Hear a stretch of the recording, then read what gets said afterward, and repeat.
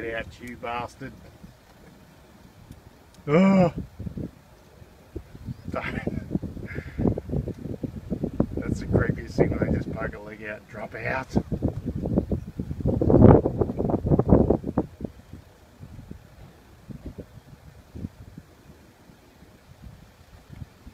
It's bloody super spy. Oh, Oh. Jesus.